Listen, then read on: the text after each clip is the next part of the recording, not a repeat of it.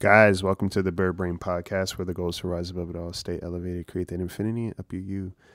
I'm your host, Isaiah. Today is going to be kind of a mixed bag, right? Because I think what I've understood about myself is the tendency to intellectualize feelings versus feeling them. So I think that'll unravel some things for us. That's what's on my heart the most, I think, this week. It's been an interesting week in terms of thoughts and feelings. And, you know, I don't want to speak for anybody, but I think a lot of times we have the tendency to intellectualize feelings versus just feeling them, right? So somebody asks you, hey, tell me how you feel. What's your answer? All right, so we're gonna get into that, and I'm gonna kind of walk you through the week. Uh, yeah, I'm gonna just do my best to kind of collect my thoughts and collect myself in terms of, you know, what the week has been or the things that stick out to me the most. And we're just gonna go into it. All right. So if you're at home, get yourself comfy. If you're driving, wear a seatbelt. Get yourself comfy. All right. so we're gonna get into it. Stay tuned.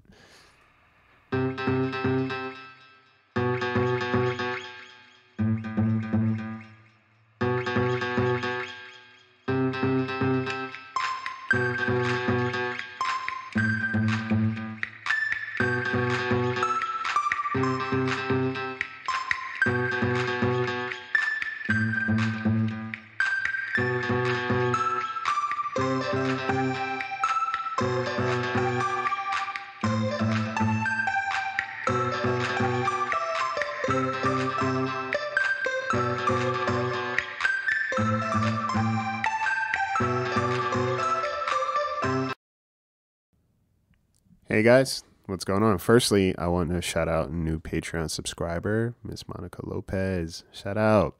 Thank you for supporting the podcast and thank you for being here. Um, it's always dope to have a new subscriber and shout out to all the subscribers, Apple Podcast subscribers, Patreon subscribers. I appreciate the love that you guys show. It helps, right? It helps keeps this birdie afloat. It's uh I remember when I first started, I uh, when I first created a Patreon, I was like, man, I don't know what to offer. Right? I don't know what bonus content will be good to to offer because you know there's some people it's funny because as a filmmaker uh, you know some people suggested oh yeah you know do this do this like show behind the scenes stuff and all that and i'm like the funny thing about this podcast, guys, when I record it, like right now, I'm recording. It's early in the morning, and the reason why I'm recording early in the morning is because the world is still asleep for me. So lately, I've been waking up at three, four in the morning, and I'll go to the gym, right, and I start my day. But I like going to the gym that early because the rest of the world is still asleep. So it's like time to think, time to feel sometimes, but time to just process, right? And um, going back to the the Patreon, and at first I was like, I don't know what other bonus content to give. It's like I don't really know, and I just give more of what I'm already providing, and what I recognize is that what I provide is enough, right? What I provide is more than enough. Some people value it, some people don't, and it's not up to me and as I say this to myself, I say it to you. It will never be up to you to force your value on some someone, right? People who value you will value you. People who don't, they don't, right? But it doesn't mean you're not of value, right? Um, and I think society shows us how our value system is just our value system. It's a personal thing. You get me? Uh, and that's a reminder because I do recognize how much work goes into this podcast, how much work goes into me just showing up. you know, sometimes your your ordinary is someone else's extraordinary, and I think a lot of times when we do a lot, we don't realize how impactful it can be and how much we should appreciate it. You know, sometimes the world tells you, yeah, love yourself and appreciate yourself. And then when you say it out loud, how much you're worth and how much you're valued, it kind of rubs people the wrong way. Or they're like, oh, you're too this or it's like, no, I'm just not waiting on you to tell me what I am and what I'm not, or how much I'm worth to you and how much I'm not. So, you know, starting the Patreon was a big thing for me. Even creating merch, like the the the the thing about it, guys, is when you are operating from your truth, right? You're pulling from your own your own well and you're being your unique self. It could be scary, right? Be scary, it could be uncertain. The reason why is because you don't have uh you don't have a blueprint. You are the blueprint. You don't have a reference point. You have you. right? And you just go out and do your own thing. You just keep doing it. And that's what it's been for me is like every year there's been some level of growth or transition in in everything that I do, truth be told. And uh, you know, the podcast especially and I, I think I've said this, or I know I've said it multiple times in different episodes. Like the humbling thing about doing this is that I didn't expect it to go past one episode. And that was coming up on five years ago. Right? I didn't know what the hell I was doing. I was just like, I'm gonna do this. See what happens. And do it with intention, though, right? That's the most important thing doing things with intention. With anything, if your heart is not in it, you're not there. And I think that even kind of translates to feelings, right? Sometimes we, um, or we, I, intellectualize my feelings more than I feel them. And it's almost, you know, we don't think about it that way, right? Because it's like when we talk about vulnerability and being open and everything like that, there's a difference, which I've learned too. There's a difference between vulnerability and being open. I can openly talk about certain things, but is that vulnerability? Not necessarily right? Vulnerability is really having the um, the access to what exactly is going on, and vulnerability is not the same thing as being emotional, right? Emotional excess or access is not the same thing as vulnerability. Okay, vulnerability is just this state of um, owning your truth and recognizing exactly what's going on, right? Processing it, feeling it. You get me? versus just being able to talk about it. Like somebody asks, "Hey, how do you feel?" I feel sad or I feel frustrated, you know, and this, this, this, and this, and this. And sometimes you mistake that for vulnerability. Oh man, this person is vulnerable, right? They're talking about their feelings, but that's the thing. Sometimes our feelings are more of a thought than it is an actual feeling. you get me? And how you kind of know that is when somebody catches you off guard one day and like, hey, are you okay? What's the matter? How do you feel? And it's in that moment where you don't have time to necessarily talk through and it just hits you. and you're like, whoa. whoa, whoa, whoa, whoa, whoa. You know, I've been carrying this much around for a while and now it's finally coming up and it just takes the right amount of something for it to kind of you know just hit you in that way. And i think it's an amazing thing when it does happen um, because it just reminds you that you're still human having a human experience. And a lot of times we intellectualize our feelings one because we have the the intelligence to do it but also it's almost a way of us taking care of other people, right? If I could just talk through my feelings composed and, and civil and, and, and regal and, and, and stable, it doesn't make you feel comfortable. It doesn't make you feel like you have to take care of me. It doesn't make you feel helpless if you can't take care of me, right? It doesn't make you feel like you have to jump into action. I'm protecting you from rejecting me. Does that make sense? sometimes when we intellectualize our feelings, it's almost us letting other people know, hey, it's okay. Yeah, I know my arm is falling off. it's all right. It's all right. You know, um, the limbs are still attached. You know, the bone is here. You can see the bone is kind of broken at a certain angle where it could be repaired. And if we have, uh, you know, if we have access to a hospital, we could get to there immediately. And yes, it hurts a little bit right now, but um, yeah, that's just a part of the process because there's nerve damage, etc. You see, like intellectualizing the whole process versus being like, hey, this fucking hurts. I'm freaking out. I'm panicking. I don't know what's going on. This hurts and I'm scared. That's a different level of awareness, but also vulnerability, right? Um, I think Brene Brown, she talks about it in, in Daring Greatly. I haven't read that book in so year, so many years, but the one of the concepts or the big concept was uh, vulnerability. Understanding what that means. And even in conversations with with people being vulnerable looks like having your truth come out through your words. Because empathy right not everybody has the same level of empathy a lot of people don't have empathy empathy is a word that's thrown around but people don't know what empathy is right? A lot of people don't know what empathy is. And I know that by how forceful people can be about someone else's level of tolerance and acceptance of certain behaviors,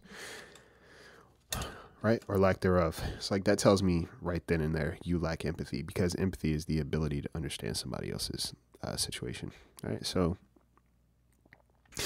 when I am talking to people, or people are talking to me, like even with my clients, right? I love I go back to this as a mental health coach, as a life coach. The beautiful thing about working with people is the ability to just listen. The ability to listen, the ability to understand what's going on, and recognizing the responsibility of offering a unique solution to this particular person. And when I listen to people talk, I'm also listening for what they're communicating. Because again, there's a difference between intellectualizing your feelings and feeling a feeling. So sometimes people would tell me certain things, and I'm like, okay, so it sounds like you feel this, this, and this, or is this potentially a feeling, right? Asking questions, uh, you know, being a soundboard, because that'll allow them to have more confidence about expressing themselves in a way of like, one, you're safe, Two, you don't have to take care of me in this moment, right? You're not here to take care of me. So you can be and feel what you need to so we can get past this moment, right? Work through this moment. And that's so beautiful. And it's something that I'm grateful and humbled by because it only further enhances, right? My ability to hold myself accountable, but also my ability to recognize when I may be intellectualizing versus actually feeling my feelings. And sometimes we can be too smart for our own good, right? You can be too smart for your own good. Okay. And when you intellectualize your feelings, it's important to kind of dip back into your past and say, well, at what point did I have to kind of take care of myself all the time? Self soothe. Right? What did that look like? And if somebody was denying my feelings, did I have to go through this debriefing of asking myself, is this true or is this not? Right? Intellectualizing your feelings comes from a lot of things. A lot of things. And it's great people who have emotional access. I love that. I love that for them. That's that's dope.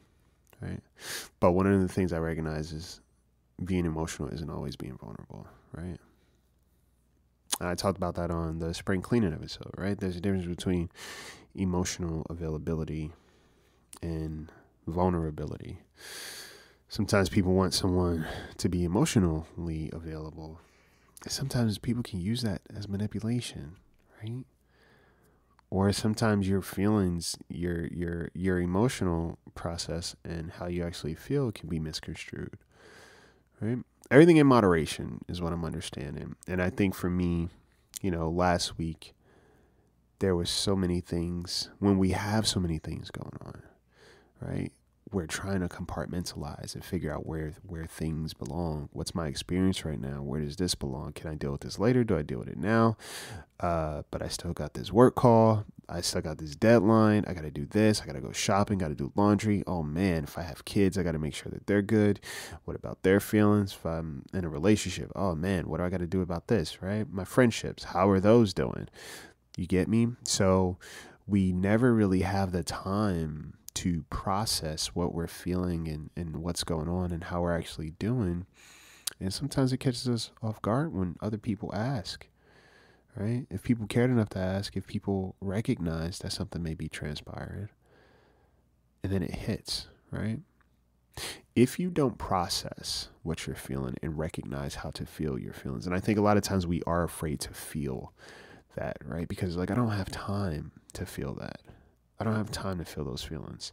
I'll never forget, I was in New York. Um, I forget, I think I was on my way home from work and this happened to me but i also have seen it happen to other people like i was on my way home from from somewhere and i was on a train and there's something so interesting i think i wrote something about this a while ago there's something so interesting about being underground on a subway because life is still happening while you're confined in that tunnel and i remember there was this woman i was standing across from on the train and she was just crying, right? She was just crying, trying to hold it together on the train. And it was nothing that she could really do because we were underground in a tunnel. And life was still happening for her in that moment. You get me? And it's happened to me before where I'm kind of on the train going from one place to another. And life just hits me, right? Or even driving in a car, you know, life just kind of hits. And I'm confined to this space, right? I'm confined to this space, but life is still happening. Okay? And that's when I know, all right, cool, there's so much more going on in me that I'm holding on to than what I'm actually feeling. I can talk about it. I could be like, yeah, you know, just got this going on. I guess I'm sad. I guess I'm angry. I guess I'm uncertain. But what does that feel like? Right? What does it feel like in your body? Where does it resonate in your body? Right? A feeling is a feeling. Like right now, I have my hands clasped together and I didn't even realize until just now. Right? I felt the warmth of one of my hands on the other hand. And now I recognize, all right, cool, my hands are clasped together. This feels, right? I feel this. I feel the calluses on my hands from working out, right? I feel the um the scars on my hands, right, from history of things, right? I feel this. Okay? And when I rubbed my scar just now, like it kind of pinged my heart a little bit, right? It, resonated in my heart. Right? So when you recognize what you're feeling, that's a whole different ball game because how your body responds and what it communicates in return is is is different than just saying, "Yeah, I feel I felt angry." It's like, "Yeah, you don't seem like it's like, yeah, I felt angry." um, I remember, you know, even in acting classes, the most difficult um, emotion for me was to feel anger. Anger, right? I could say I'm angry, and it may be in my body somewhere, but to express it not necessarily. To even feel it, nah, wasn't really there because I was always intellectualizing. And sometimes we intellectualize our feelings because we're also trying so hard to understand other people's feelings, other people's behaviors. I do that a lot.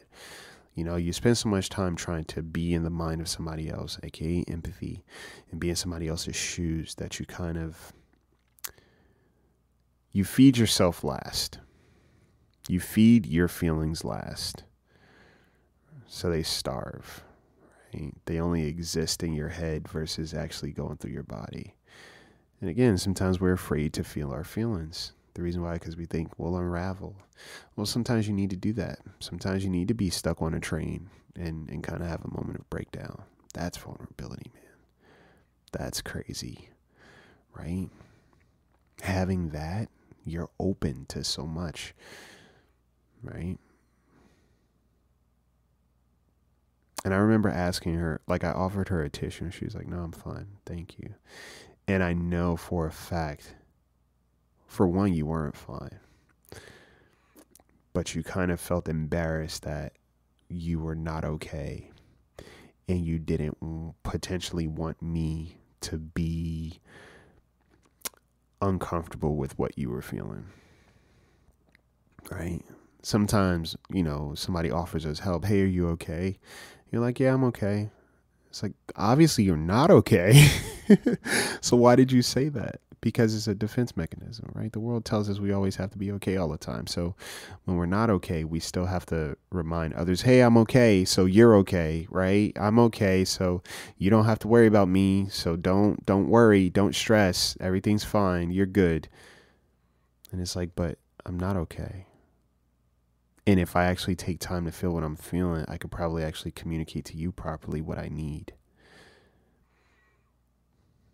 Right? The more we feel our feelings, the more we'll recognize where the healing needs to happen. Okay. The more honest and authentic we'll show up in our relationships, and the more, you know, people on the opposite end, we could figure out who we're on the opposite end of but we'll also kind of allow ourselves to just kind of be put back together with the help of some people who want to be there and take care of us. But it, it requires bravery. Vulnerability is bravery. Vulnerability is not weakness because you are open to so many things. That's vulnerability. Right? You're exposed. So now what? But it's a beautiful thing, guys, because you learn so much. You learn so damn much. And you grow, right? You grow. And you keep growing.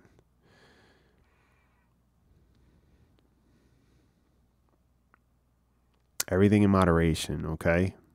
Like, it's cool to recognize how you feel, but it's also necessary to be able to feel those things. Pay attention to your body right? See what's going on, where it's happening, right? When your feelings get hurt, where does that come up, right? does your face get hot? Does your chest get heavy? Does it hit you in your stomach? Right? Um, there was this conversation I saw on TikTok uh, about this woman talking about how when you recognize in your friendships there's a discrepancy, like you may value a friend more than they value you, right? And then you might have to make a decision of kind of uh, downgrading that friend or keeping them in your life right? Because it hurts so much to recognize that this person who means so much to me, I don't mean as much to. When you think about that, how much that hurts. Think of it in any relationship, how much it hurts. Like what where does it happen in your body just thinking about that? For me, it hits my chest. Like that's a weight, right? hits your chest, sometimes it hits your stomach. But those are feelings, right? That's how you recognize your feelings. And the more in tune you are with your feelings, instead of just intellectualizing, you could kind of work through things. You could remedy things a little bit. You can now have more honest conversations with yourself and others. But you can also give yourself permission to be like, hey, it's okay to not be okay. You're good. You're safe still. right? Whether you're on a train or in a car. But I think there's such a beautiful thing about not being able to hide yourself or um, force your feelings to not show up in those moments, right? A long go on a long car ride. Put some music on or no music. Actually, don't don't put any music on and just see what happens and ask yourself what's going on. How do I feel? What's the matter? See what comes up for you and then go from there. Okay. Sit down with yourself. Ask someone that's important to you, hey, how are you? How do you feel? And when you ask them, how do you feel? Listen to what they tell you. Because sometimes people, I'm like, hey, how are you feeling? And they're like, well, busy day at work, had this going. And I'm like, but how do you feel? I didn't ask you to tell me what you did today, what happened in your day. Tell me how you feel. There's vulnerability there. All right, so just remember that. That's all I got, guys. Um, yes, if you missed the self confidence workshop, I'll be having more workshops in the future. But uh, shout out to all the people that showed up. It's a beautiful thing when we show up for ourselves, yeah? There's always some growth that happens, it's inevitable. Okay. Um, I have slots open for clients, one on one coaching. The link is in the description of this episode. Also, if you want to become a supporter, Patreon, Apple subscribe. Link is also here. If you want to buy merch, link is there. If you want to get the coloring book, link is there. All the links are there. We're linked up, baby. All right. So I hope you guys are well. I hope you are taking care of yourselves. I hope you are taking care of each other more than anything. Just take flight.